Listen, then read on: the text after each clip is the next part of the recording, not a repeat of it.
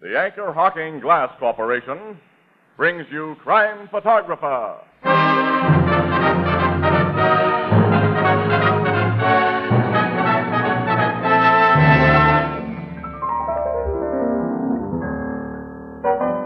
Today is the anniversary of the Great Chicago Fire. The one that was started by Mrs. O'Leary's cow. Yeah, Mrs. O'Leary's cow.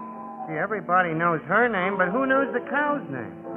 That should be a famous name, too. Maybe Tony knows. Oh, I'm sorry, fellas, but that's one famous name I don't know. But I do know that Anchor Hocking is the most famous name in glass.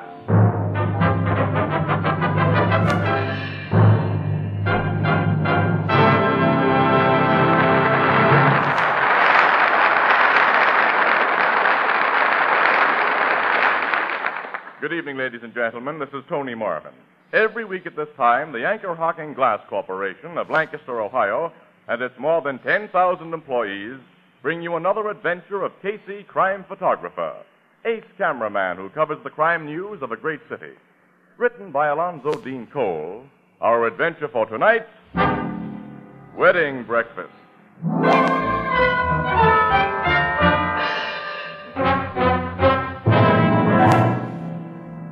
Five o'clock in the morning. A dull and dreary five o'clock. In the big morning express building, an elevator halts at the floor of the photography department, and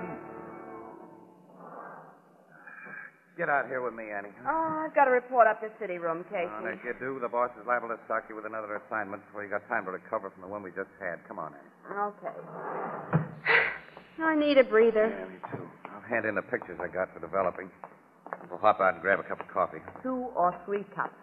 Strong. Here, let me get that door for you. Oh, thanks. Hi, Casey. Huh? Morning, William. Oh, there's been nothing good about this morning, Pollock. You two look kind of beat up. Well, if you'd seen four dead bodies spread over the pavement in accident like we've just seen, you'd look beat up, too. I hear the films I exposed, Pollock. They're not pretty. Run them through the developer, will you? Okay. My desk phone. Probably the guy who's been trying to get you ever since you went on that accident What? thing. Somebody's been calling me? He gave his name as Jimmy Hackett. Wouldn't say what he wanted you for. I don't know any Jimmy Hackett. Hello, Casey speaking. Oh, finally I get you. This is Jimmy the Hacky, Casey. Jimmy who? The Hacky, you know, the cab driver you got out of a jam when them cops... Oh, Jimmy. Yeah, yeah, Casey. When a guy does me a favor, I ain't happy till I can do something for him. Now I got what I think is an exclusive story for you. Okay, shoot it, pal. You know Sylvia Loomis, the multi-million heiress? Well, I know of her. You know anything about a party named Duke Pavel? He's got fancy Marcel hair and he don't talk good American like you and me. Baron Rennie Dupavu? Yeah, that's the guy. Oh, well, what Uh, about he and this Loomis chicken got married tonight. What? This is straight goods, Casey. Hey, listen to this, Annie. Will you? Go ahead, Jimmy. Go ahead. Uh, about 3 this a.m., I pick up three couples outside the Club Casbah. Yeah? They, they tell me to drive to Fieldston, just over the state line. They get a justice and a piece out of bed, and, and one of the couples gets married. What do you well, know? from talk I heard, it seems they get a license last week sometime, but the girl had started to welch on the ball and chain idea. Uh, this uh, Duke Pavel and his friends better quite a few drinks at the Casbah tonight and talked her into going through with it. Well, it was only during the drive back to the guy's apartment that I get wise to who the newlyweds was. You'll Sylvia Loomis and Baron Rennie Dupavu. Huh? That's right. I took them and their friends to do Pavel's apartment, the Wilshire Manor. They, they plan to have more drinks there and a wedding breakfast. This hot news for you, Casey? It's plenty hot, Jimmy, and thanks a million. Uh, don't thank me. I'm still thanking you for getting me out of that jam. Goodbye. Goodbye, Jim. You heard that, Annie? Oh, this is front page stuff, Casey. Sylvia Loomis is one of the richest gals in the world. And the guy Jimmy says she's married is an A1 rat, Annie. Dupavu's never done a decent day's work in his life. Ah, but what a handsome hunk of man he is. Huh? Oh. Say, that Loomis girl. She was engaged to Artie Mason. I wonder what. Hmm. Hey, well, come on. That wedding breakfast ought to be starting about now. Let's get up to city desk, lay our tip on the line, then go to Pavel's apartment for confirmation. huh? Okay, a simple social assignment like this will be a welcome relief, Casey, after that accident job we just finished.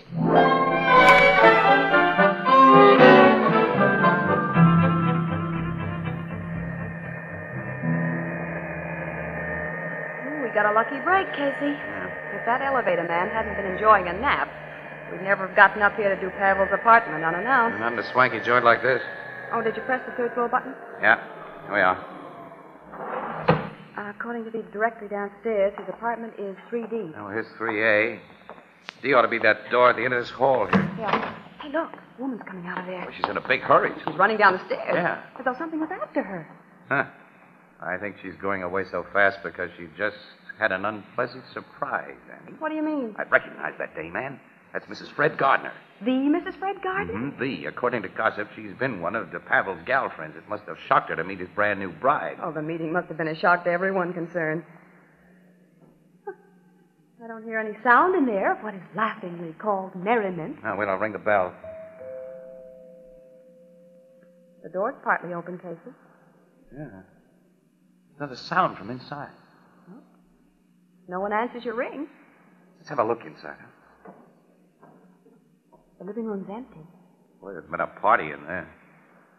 Eyeball glasses all around. Maybe everybody went out for that wedding Annie, breakfast. come in. Let me close this door. Have a look around. Hey, Casey, we have no right We'll to... take the right. Mrs. Gardner had a reason to run out of here the way she did, Annie. Hey. Look, look at this. What? Pieces of the marriage certificate. What it looks like. Well, somebody tore it to bits. Stick again in that next room. Looks like a library. Casey! Holy s- That man on the floor. That's Dupaville. His skull's been crushed in and he's dead. The body's still warm. Hey, the woman we saw leave here, Mrs. Gardner, she's the one. Quiet. Huh? Listen. Someone's in this room. Here the guy is, on the floor behind the sofa. Hey, it's Artie Mason. He's asleep. Probably drunk. That statuette beside his hand. There's blood on it, Casey. Fresh blood, Annie. This bronze statuette is what killed Dupaville. Then Mason must have done it. He was crazy about Sylvia Loomis. He found out she'd married this gigolo. He came up Ah, here. don't go too and... fast, Annie. Don't forget Mrs. Gardner, don't forget the bride. Sylvia, yeah. Hey, come on back to the library. There must be a phone in there, and I'll call City Desk. Give the cops a ring afterward. They may be interested. Well, just as soon as I get my story in. Oh, there's the phone. Uh-oh. You won't call on that. Oh, the wire's been yanked Find a telephone outside, Annie. Oh, will you? right. I'll take the car and find a phone and come back here with a cop. Right. While you're doing that, I'll make with a camera here. Okay, I'm on my way. All right, I'll lock the door behind you. Nobody else can walk in like we did. Well, I'll come back as soon as I can and, and ring the bell. All right, so long. Mm. what a beautiful front page picture this is going to make.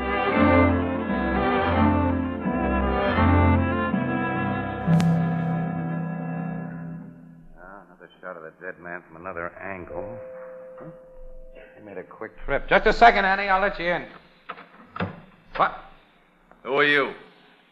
Who are you? Larkin's the name. I want to see DePavel. He isn't here. He'd better be here, and he'd better see me. Out of my way, Wait a minute, I, I- said out of my I don't way. like being pushed around like that, mister. That's too bad. Tough, huh? Plenty. Now go tell DePavel I'm here for the stuff he promised. What stuff? He knows. Just tell him Horseshoe Larkin's here. Oh, I've heard of you. You're one of the gambling racket guys I never ran into before. On your way. Get DePavel. I'll take you to the Pavel. Step into the library here. Okay. There he is. What? I'm afraid he isn't going to give you the stuff he promised. When did this happen? Not very long ago. Did you? No. I didn't kill him. Maybe the guy over here did. Artie Mason. You know Mason? Yeah. He's drunk. Passed out. It kind of looks that way. How do you fit into this? I Just happened to be waiting for a bus that runs right through here. Cut the comedy. You a cop? Yes. I get you now.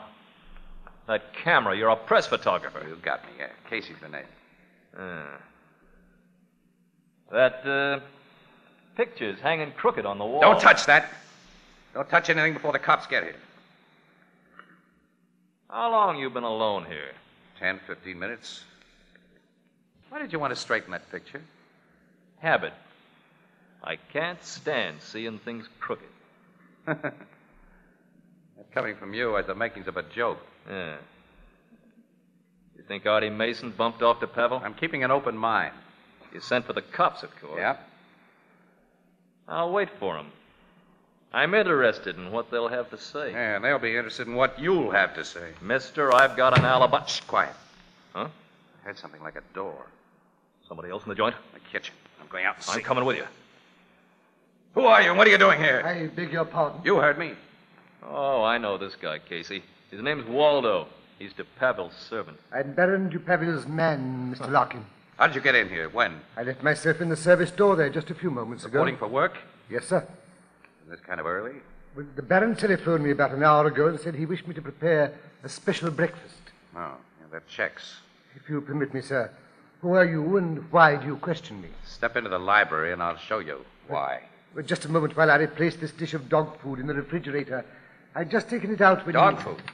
For the Baron's spaniel. I haven't seen any spaniel. Oh, he's there in the butler's pantry, sir.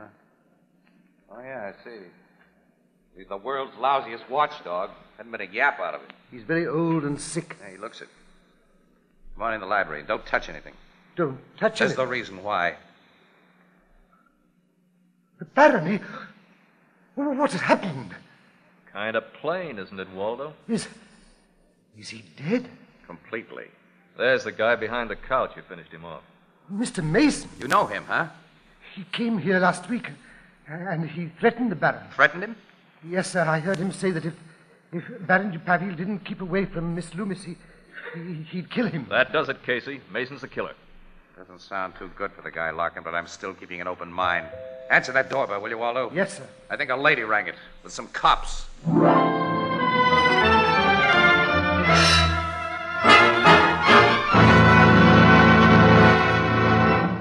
Our story will continue in just a moment. In honor of our great American wine industry, next week has been designated as National Wine Week. We have a right to be proud of American wines, and we're glad to acknowledge a debt of gratitude to those who've accomplished so much for us in vineyard and winery. They've made it possible for us to enjoy wines of exquisite taste and superb character. These wines appear on our table bearing the legend, grown and bottled in America for the world to respect and enjoy. Make it a point to serve delicious wines with your meals. And what a choice you have in American wines. Wines that bring you the taste and bouquet of the living grape. Wines that delight the eye with gem like colors that range from the pale glitter of the topaz to the deep glow of the ruby. All of them good, all of them delicious, all of them American. American wines come to you in clean glass bottles, for glass bottles only can bring you wine as it comes from the winery, unaffected by any foreign taste or flavor. Now, quite naturally, the American wine industry comes to Anchor Glass for carefully made wine bottles. Another product of Anchor Hocking. The most famous name in glass.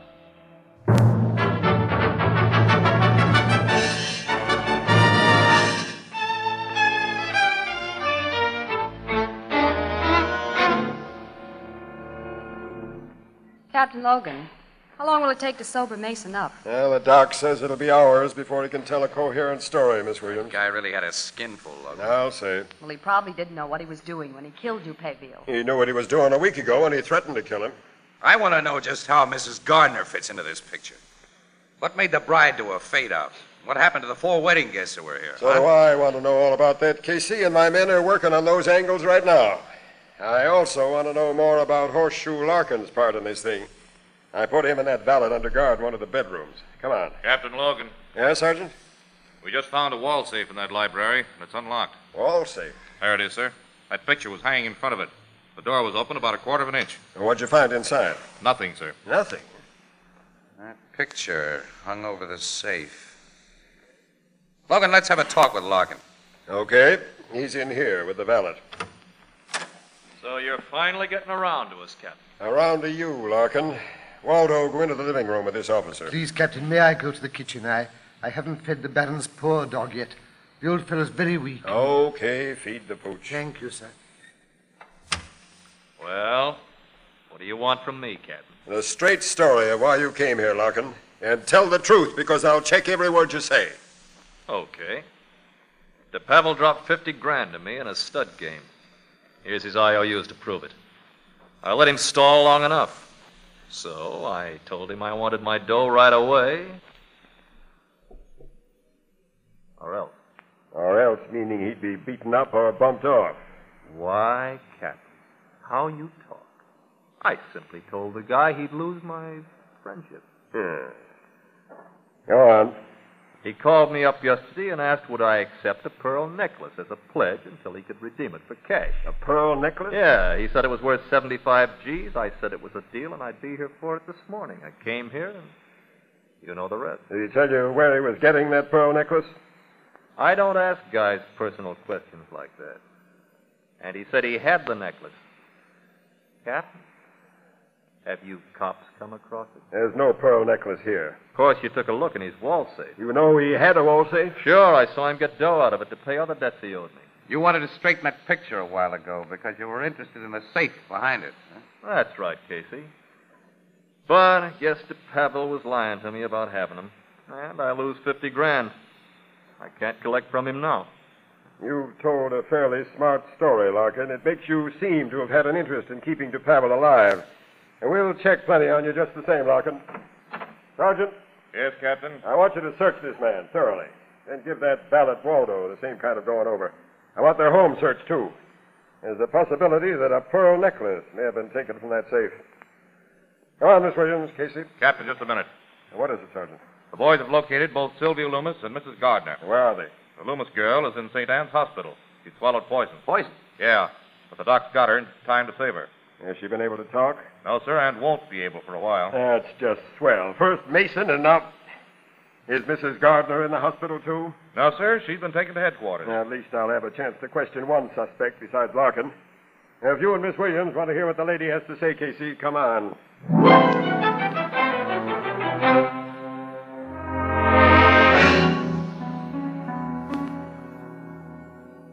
Believe me, Captain.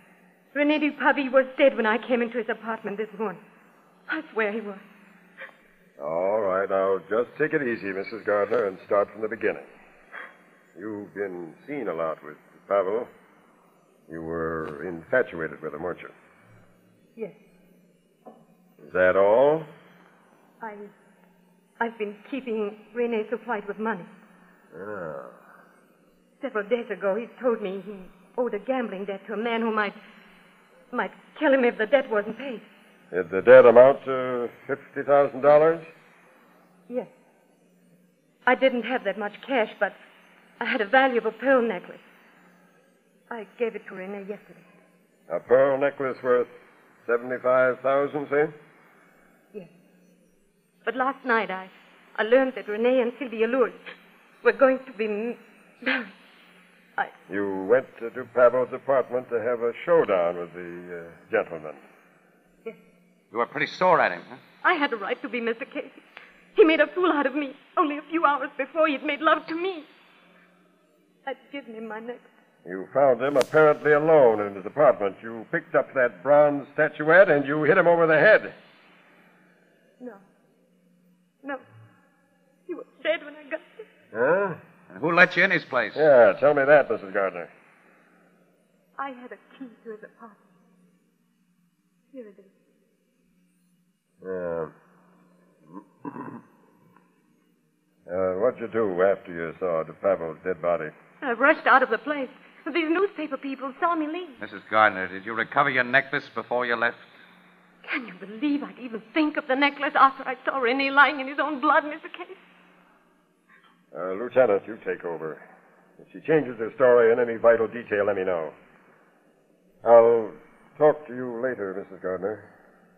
Come on, Miss Williams, Casey. My guys should have rounded up the rest of the suspects by now.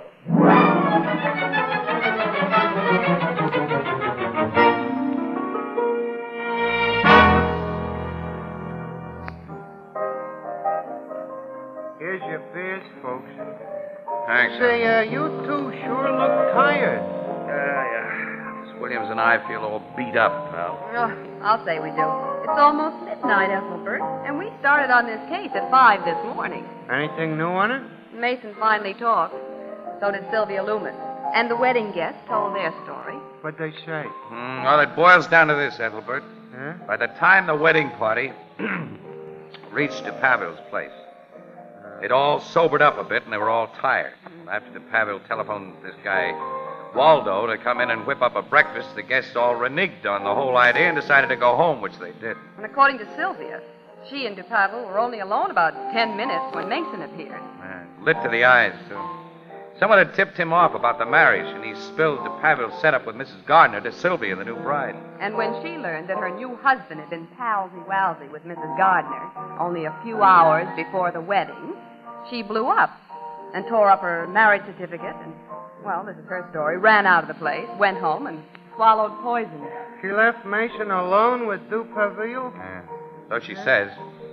She also says Mason had passed out cold by that time. Sylvia may have done it while Mason was blacked out. Mason may have snapped out of his blackout after she left and done it. Or Mrs. Gardner may have done it. Gee, who done it? Well, you give us the answer, pal. How about Horseshoe Larkin? No, his alibi stood up a 100%.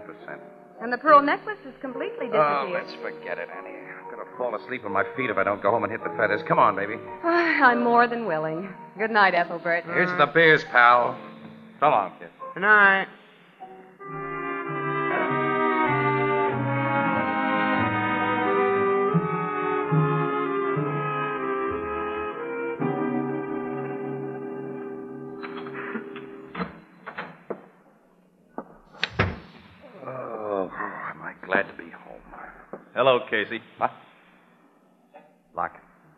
Waiting for you quite a while. You ought to have a better lock on your door. It was a cinch to slip it. What's the big idea? I want the pearl necklace, and you've got it. nuts. Uh-uh. Hand it over, fella, and you won't have to worry about this gun in my mid. I may even slip you a grand or two. I guess I'm dumb, Larkin. I don't get it. To save argument, I'll tell you how I got the goods on you. Yeah, that I'd like to hear. Well, you see, I happened to have phoned to Paville between the time the Loomis chick left and the Gardner dame blew in and out. And he answered the phone. He was alive. then. Yeah. Which means Mason killed him. But Mason didn't take the necklace. He was searched, I was searched, Waldo was searched. But you weren't searched, Casey. I see. I want those pearls, Casey. Gimme. You said something about uh, slipping me a few grand, Larkin. I meant it. I'm not a hog. Whatever they bring over 50, I'll split with you. It's a fair offer. Ah, live and let live, I always say. When it's possible to let live. What? What? what? Make sure it's possible. I'll take that gun, you dirty double crosser. I came home to get some rest.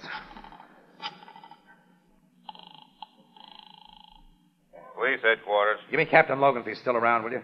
Just a minute. Why did I go into the newspaper business? Logan speaking. This is Casey. But what do you want? Whatever it is, the answer is no. I'm just leaving for home and some rest. Forget it, forget it. And meet me at DePaville's apartment as soon as you can get there. What for? To find those missing pearls and get a murderer. Huh? Yes, and incidentally, sent a cop to my joint for a guy I envy.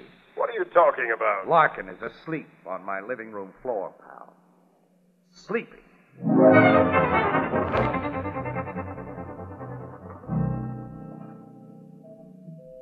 Doorbell, Logan. Sergeant Flanagan will answer. Oh, you're back, Waldo. Thank you for letting me in once more, Sergeant. How is the poor old dog? He was asleep last time I looked at him. May I see him? Sure. I am greatly attached to him. He, he belonged to the Baron, but he was really ma... Oh, Captain Logan and Mr. Casey. Hello, Waldo. Hi, fella. Just looking over your kitchen again. I, I've come to see the dog. I'm worried about him. You've him. been here before tonight? Yes, the poor old fellow is so weak. If he isn't looked after... Look he... after him, Waldo. Thank you, sir. Oh, he's still and cold. I think he's dead. Really? Poor old fellow. The spaniel's dead, all right, Logan. Yeah. Too bad. Gentlemen, perhaps I'm unduly sentimental, but may I take him with me and bury him decently? Why, certainly, Waldo. Thank you, Captain. After an autopsy is performed? Autopsy. It's a rule where a crime has been committed. I, I never heard of that rule. Oh, very well, gentlemen. I, I'll call for his body later. Good night. You're not leaving, Waldo. Not until you talk. What, what's the meaning of this? Let me go. Talk, Waldo. Talk. I, I don't know what you mean. You came into this apartment by the service entrance as Sylvia Loomis was telling DePaville off. You saw your chance and made your plan. You hit DuPavel with that statuette, thinking Mason would be blamed. You'd just gotten the necklace when Mrs. Gardner let herself in. You hid in that butler's When pantry. Miss Williams and I came in, you were stuck there, right? The old dog offered you an out, you thought. You mixed the pearls in the ground meat prepared for that spaniel. You fed it to him right under our noses. After putting in some roach poison you had in his kitchen. And then you posed as a dog lover while waiting for him to die so you could walk out with his body and the pearls. Right, Waldo? Yes. It was just as you say. Take me to jail, gentlemen. I'm very tired. You're tired. Uh, are we tired?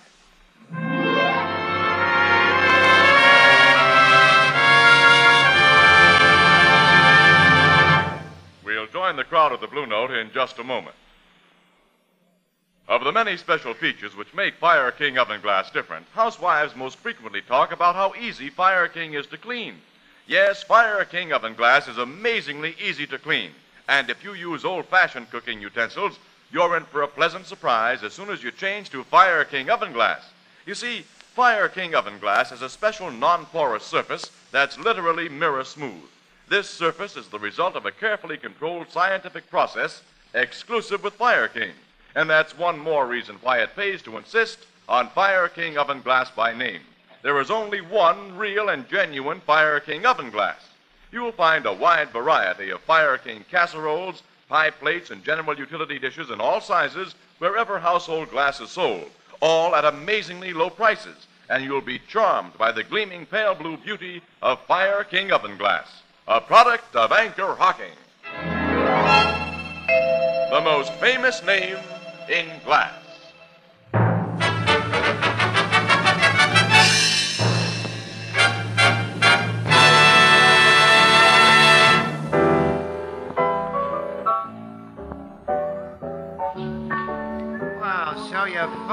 Got a good sleep, Casey, huh? Ah, swell, Ethelbert. I feel like a million bucks today. Oh, if we could only spend the kind of money we sometimes feel like. Ah, now you want to hoard that kind, Annie. Look at Artie Mason, Sylvia Loomis, Mrs. Gardner. Oh, well, phooey. Let's forget about the DePavel case.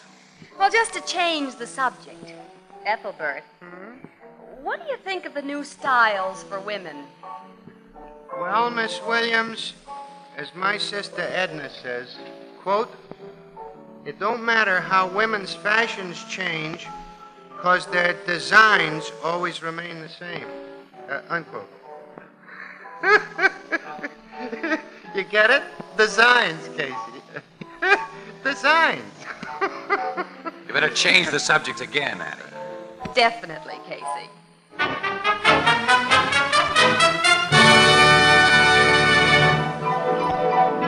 Crime Photographer, starring Staats Cotsworth as Casey, is brought to you each Thursday by the Anchor Hocking Glass Corporation, makers of Fire King Oven Glass, Anchor Glass Containers, Anchor Caps and Closures. All products of Anchor Hocking, the most famous name in glass.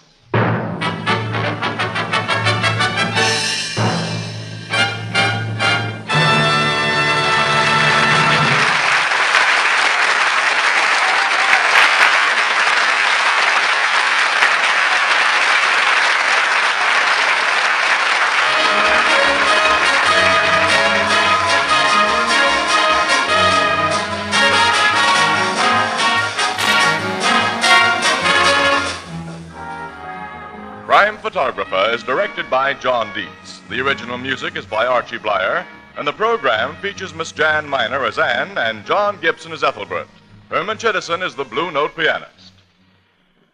This is Fire Prevention Week. Even now, during this program, fires are breaking out in the United States at the rate of one every 38 seconds, with fearful penalties and loss of life, painful injury, property destruction. Do your part by observing the simple but all important rules of fire prevention. Make every week a Fire Prevention Week. This is Tony Marvin saying goodnight for the Anchor Hocking Glass Corporation of Lancaster, Ohio, with offices in all principal cities of the United States and Canada.